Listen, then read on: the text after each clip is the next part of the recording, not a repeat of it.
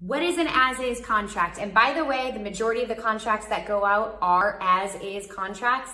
That basically means that the seller is selling it as is in the current state that it is in without any repairs. But after inspection, let's be honest, both buyer and seller want to get to that closing table. And in order to do that, sometimes the seller bends a little bit and helps the buyer out and they can still negotiate thereafter.